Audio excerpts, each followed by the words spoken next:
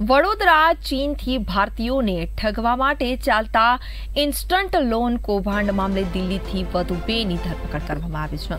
ચીનથી instant loan અને ઇન્વેસ્ટમેન્ટના ઓથા હેઠળ ચાલતા આંતરરાષ્ટ્રીય કૌભાંડનો સ્થાનિક કક્ષાએથી સંડોવણીનો પોલીસે પર્દાફાશ કર્યો છે.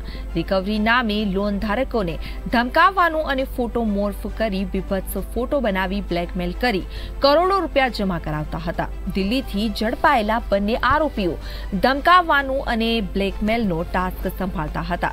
દીપક ચૌધરી અને સચિન કમાત નામના બે ઠગ એજન્ટોની દિલ્હીના આયાનગરમાંથી ધરપકડ કરવામાં આવી.